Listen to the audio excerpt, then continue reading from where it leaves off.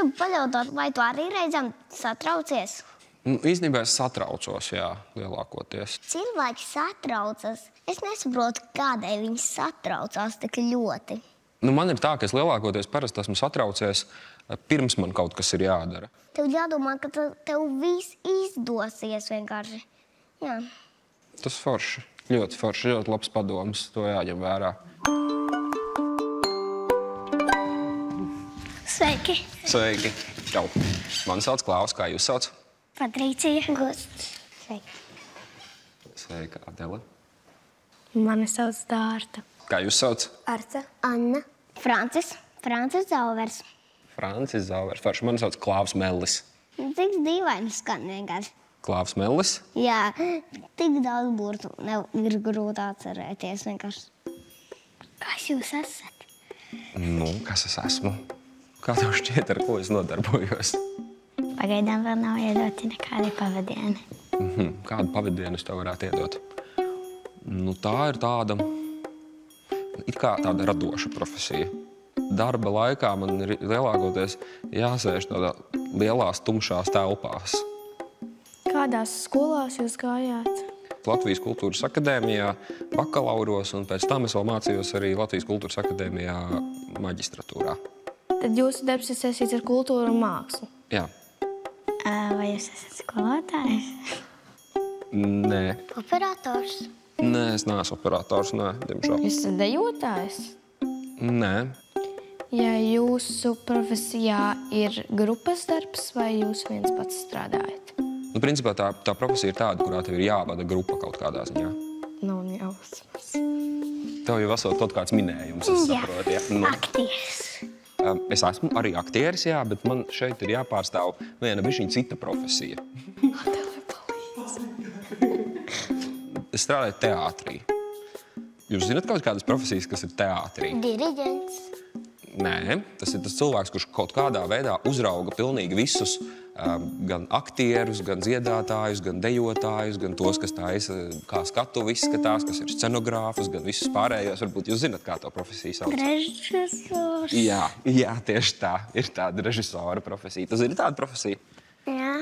Kā tu domā, kad un kā radusies režisora profesija? Senajā Grieķijā lugu autori, piemēram, Eshils, paši iestudēja savas lugas un pat rakstīja tām mūziku. Grieķu valodā režisoru sauc par didaskalus, jeb skolotāju. Viduslaikos režisori izrādes starplaikos uzrunāja skatītājus, skaidrojot uz skatuves notiekošo. Mūsdienu izpratnē teātra režisora loma nostiprinājās 19. gadsimtā, kad radās arī krievu režisora Konstantīna Staņislavska, līdz šim ietekmīgākā režijas skola. Tā no režisora prasa maksimāla zināšanas par dzīvi un pasauli, arī prasmi vērot un likt noticēt. Kāpēc tu izvēlējies strādāt šajā darbā? Nu, man liekas, ka vienkārši man patīk teātris kopumā. Man tiešām liekas, ka tā ir tāda forša lieta. Ko jūs īsti darat kā režisors? Kā tev liekas, ko es daru? Um, nezinu. Zinu tikai to, ka režisors ir svarīgs cilvēks. Nu, tas ir tas cilvēks, kurš kaut kādā mērā savāc visu, visu to pārējo radošo ansambli kopā. Nu, Kā jums liekas, ar ko režisors nodarbojas? Režisors, nu, ar datoriem. Nu, režisors ir tas cilvēks, kurš palīdz saprast, kā to izrādi spēlēt. Nu, kurš paskatās no malas. Man liekas, ka režisors saka, kur kam jāstāv vai jādara. Nu, principā tā kaut kā apmēram ir. Jā. Nu, piemēram, aktieri kaut ko spēlē, un uh, tad režisors ir tas, kurš saka, tur, hm, hm, hm, varbūt tev vajag tur spēlēt bišķiņu skaļāk, vai varbūt bišķiņu tur pa labi, vai bišķiņu pa kreisi, vai šeit vairāk drusciņu padomā, vai, vai pajautā, piemēram, aktierim, ko tu domā, sakot šos te vārdus. Nu, tam līdzīgi. Lielākoties režisors tomēr arī ir tas, kurš, nu, no kura kaut kādā ziņā nāk tā iniciatīva konkrētai izrādēji. Pēc režisora domām, kādai aktrisei vajadzētu būt. Man liekas, ka galvenais ir būt tādai vienkārši strādīgai aktrisei. Tu esi pats spēlējis, varbūt kādreiz teātrī. Skolā jā. Tad jūs tur izlasat kaut kādu stāstīnu, un tad Jā. iestudējat tur tādu mazu izrādīti. Ja? Mm -hmm. Jums ir kaut kāda profesija, ko jūs tā kā, jau domājat, ka jūs Es vēl gribētu? īsti nezinu. Es gribētu būt aktrise. O, forši. Bet varbūt tu, tu gribi pamēģināt būt režisore uz mazu mirklīti. Nu, labi. Droši vien, ka tev vajadzētu pirmkārt izdomāt, kā Annai tas dzējolīts ir jāskaita. Anna, tu varētu uzkāpt uz krēsla, pagriezties, un tagad tu sāksi dzējoli, sasit divreiz rokas, un tad, kad beigsi trīs reizes rokas sasit. Jo tas, jau ir diezgan sarežģīts uzdevums. jā. Labi. Putniņš pārlidoja vakars, nolaidās visos ciema logos, sveces iedegās. Nu, ļoti skaisti. Tiešām.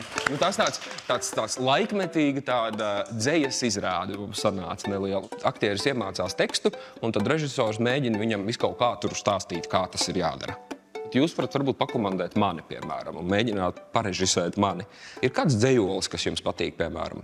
Tajā mežā lielie augi, daudz tur bija koku, daudz bija man draugu.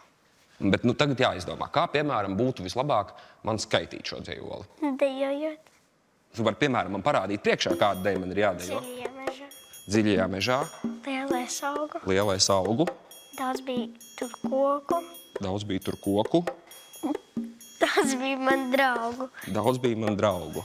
Vai lai dodu kaķīšām, kur lai viņš tur sēž? Ūsām. Lai tas sēž uz ūsām tam. Ja? Vai, Vai, nē, vai kā ir pareizi? vai, lai, vai lai dodu sunīšam. Sunīšam, Lai tas lai sēž tas sēž uz astes tam. Ir kaut kāds tāds veids, kā, kā, kā būtu vispareizāk skaitīt jūsu prāt šo dzējoli. Es varu, piemēram, palīdz zem krēsla un tur domāt, kā tas ir jādara. Šitā. Lai tas sēž uz ūsām tam, vai lai dodu sunīšam, lai tas sēž uz astes tam. Paldies, Atā. Paldies, tā. Čau. Nu, labi, es jau arī dodos šodien ar tevi.